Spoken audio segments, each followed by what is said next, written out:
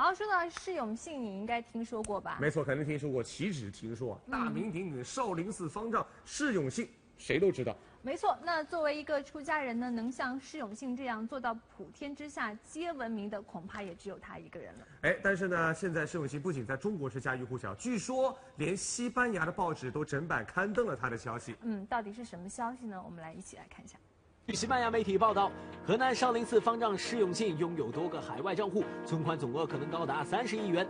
除此之外，该报纸还透露，释永信在美国、德国都有别墅，曾经和某大牌明星有染，而且还包养一名北大女学生，并且与其育有一子。现在母子都居住在德国。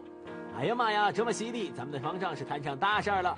这家媒体以性、金钱和功夫为题，整版报道了释永信的所谓丑闻。消息一公布，变成了热议的话题。一向高调的释永信方丈这次却没有公开现身回应，只是在少林寺的官方网站上贴出了一则澄清声明，声明关于释永信方丈的网络传闻完全是天方夜谭，是无中生有、恶意编造的诽谤。与此同时，少林寺更是悬赏五万元征集造谣诽谤者的信息，以正视听，并欢迎任何掌握证据的知情人向主管部门举报。少。少林寺会配合一切调查，并将调查结果公诸于众。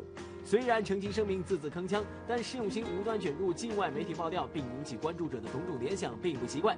因为近年来释永信高调推广少林文化，成立少林文化基金会，并形成了独立的品牌，走实业新教之路，还远赴海外开枝散叶。少林寺这些年的发展与释永信的推波助澜密不可分。说少林寺成就了释永信，不如说释永信成就了少林寺。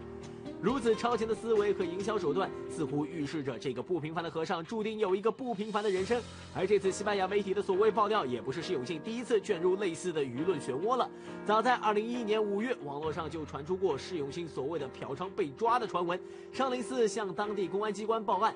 同年6月，国家宗教局证实，所谓的嫖娼事件纯属造谣。释永信俗名刘应成，法号永信，少林寺第三十代方丈，中国佛教协会副会长。因为依靠商业手段推广少林文化并大获成功而飞升海外，赢得了众多的赞誉和掌声。释永信本人更是被称为穿着袈裟的 CEO。娱乐新天地，方丈您消消气，综合报道。